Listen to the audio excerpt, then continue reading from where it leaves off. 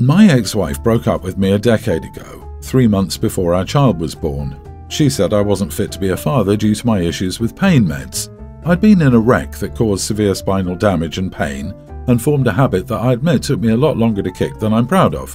She was never supportive of that particular subject, but her leaving me over it was out of the blue. Court said custody would be 50 50, and it has been since. In that decade, I've done okay, remarried a wonderful woman who I've had two girls with, and was promoted into a position with a seven figure salary. My ex has not done well, she's remarried twice and was broken up with both times, filed for bankruptcy, and lives in what I can only describe as a dive apartment. I make sure my son is well taken care of, my wife, girls, and I spend every moment we're legally entitled to spend with him, and we offer to include him in literally everything, which his mother frequently declines when it's on her time. My son and ex both know that if he needs anything, he can call and ask. I frequently sent food and clothing, etc., and several times put them both up in a hotel because their apartment was being fumigated or similar. Both my parents, my ex's parents, my sister, and of course my ex, feel I should be financially supporting my ex. Their reasoning is that my son stays with her half the time, she's the mother of my son, and during those times he's with her, they're both living in squalor, and my son gets upset every time he has to go with his mother, who he started saying he hates as of late. When she says she won't feed him because it's expensive and to call me because I have money, it's no wonder. So far as I'm aware, she can afford to feed him. She's working two jobs, but she'd rather I pay his expenses so she can afford expensive shoes and the minimum payment on her maxed out credit cards. I've tried to get sole custody, but the court's made it clear that's not happening because she has a good stable income. The court told me if I tried to sue her again without proof of gross neglect, they consider me to be harassing her. It's been extremely frustrating. I've held my ground thus far as I feel I've no responsibility for her, and I've no desire to support her using my son against me for her own financial gain, which is exactly what she's doing. My wife says she sees both sides. So, am I the idiot for not financially supporting my ex wife because it affects my son? Edit. The court did not order child support. At the time we separated, my ex was making slightly more than I was and got to keep the house, which she lost. Not the idiot, the audacity. She already doesn't spend her money on her own son. She spends it on designer stuff. She has two jobs but wants you to pay the kid's expensive when he lives with her, plus she will take and spend any money you give your son. She needs to do better and actually take care of her son on her time with her money. OP, save proof of everything she says and does that is neglectful of your children. Text messages, emails, etc., where she's saying anything like that hire a good attorney, and bring her butt back to court again. You can even report to your son's school if his mother is neglecting him. They are obligated to report it. You clearly provide for your child and are a good parent. You can prove to the court that she is unfit if you have sufficient documentation. You need to speak to an attorney. You are not the idiot for not wanting to financially support her. It's only your job to financially support your kid. If you make seven figures, you sure can support your ex a little, if only so your son lives in better circumstances. A few hundred bucks mean nothing to you but will change a lot for them. And yes, I get it. She messed you over, but you definitely came out way better. Now be a good winner and act appropriately. You are the idiot, OP. I agree with you. Personally, if I had the means, I would never allow my child to live in squalor. It doesn't sound like your ex was mean or vindictive. You had issues and you seem bitter because she left you. What kind of mom would she be if she raised her kid with someone addicted? She's poor and struggling, not lazy. She works two jobs. Talk to your lawyer again. There are other ways you can support your ex without giving her money personally. Help her get a better job, get gift cards to a shopping store, or make grocery deliveries once a week. Maybe you buy a condo for your ex and kid to live in, and yeah, she gets booted on his 18th birthday.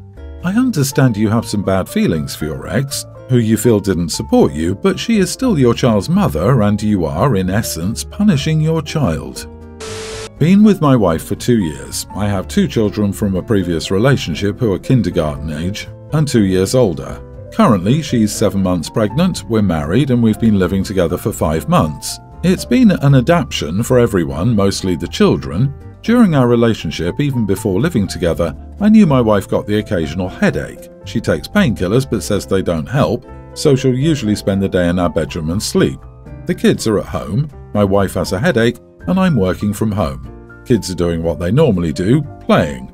My wife texts me asking to keep them from making so much noise. I was in a meeting when she texted, so I didn't look at it until an hour later.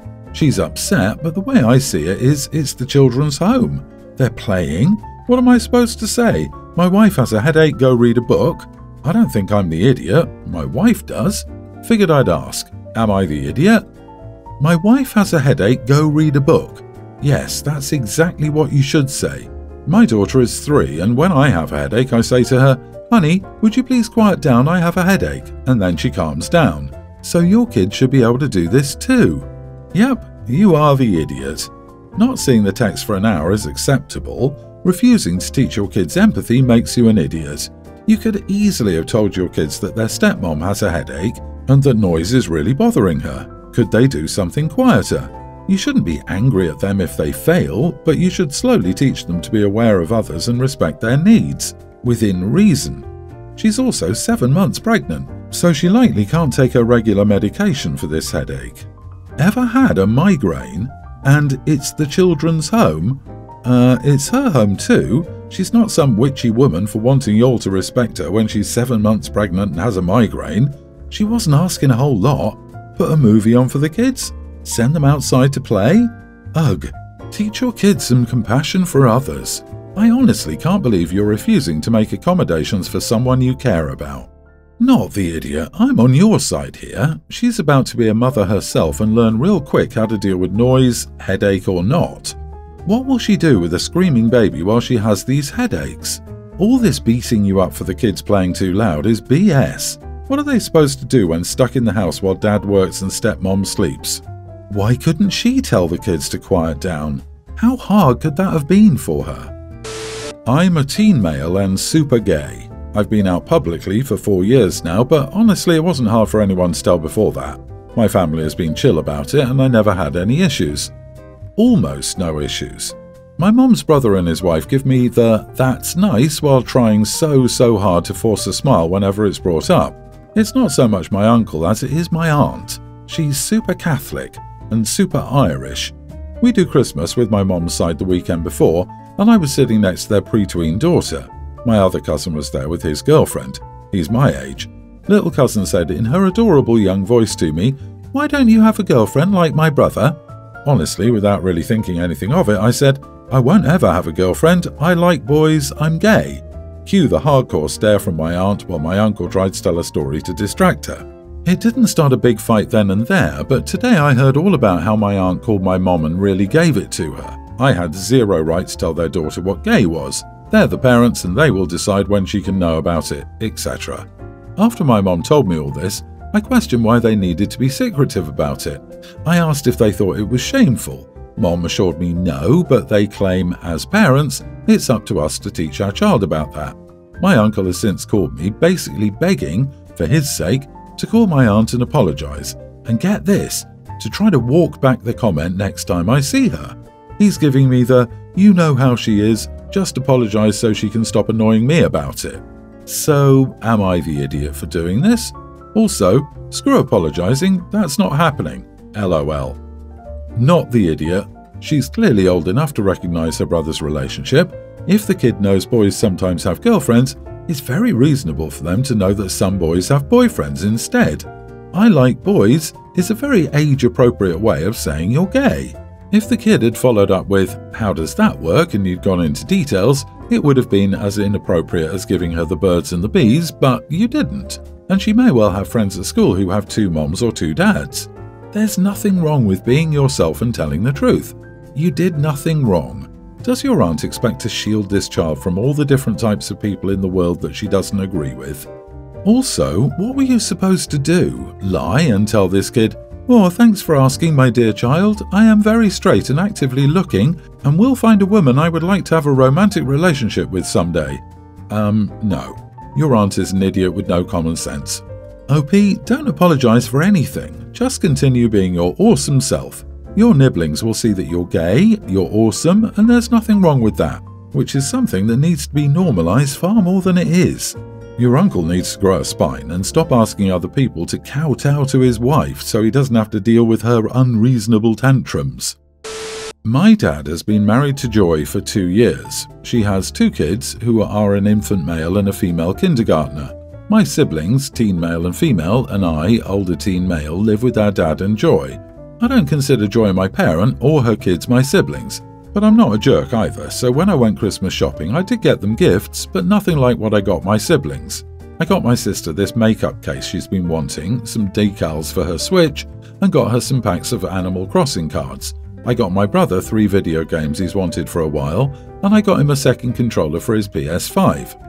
I work part time and I save most of my money so I can afford to do this. I got a toy for each of my step siblings, not even really sure what they were, but they weren't very expensive. I was wrapping them while everyone else was out. Joy came home early and saw me wrapping them and asked where the rest of the gifts were. I said that was it, and she got mad at me because she realised her kids got way less compared to my siblings and the effort was put into my siblings more. She told me I was old enough to treat them all exactly the same and to imagine how it would feel for her kids to think I don't love them the same. She complained to my dad when he got home, and he asked me about it. I told him her kids don't mean the same to me as my siblings, so I got them something to be nice versus actually wanting to and trying to be their big brother. Dad spoke to Joy after me, and she was annoyed that I didn't see them all as equally as my siblings. She questioned me about who else I bought gifts for, and I told her it was none of her business. She told me I live in her house, she's the mom of the house, etc. I told her I don't have a mom and that she's not my mom, and I don't owe her the information about who I spend my money on gifts for. Things are now so tense. It's been more than a week, and my dad asked if I would consider spending more on Joy's kids to keep the peace. I told him I wasn't willing to do that. So dad bought some extra gifts for me to say are from me. Joy was angry and said I was a little idiot because I shouldn't be getting blood family better gifts for being blood when we're all equally one family. Am I the idiot? Edit, I literally don't have a mom. My siblings and I were born with help for dad to be our sole parent. He became a single parent to three. The woman who helped has no legal rights over us, so no mom. Not the idiot, you're a teen, a child. You're not obligated to spend anything on anyone at your age. The fact that you've used the money you've saved from your part time job to get something nice for your siblings and step siblings shows that you're a caring older brother. Your step siblings are young, they have no concept of the monetary value of anything. They'll just be happy they got something.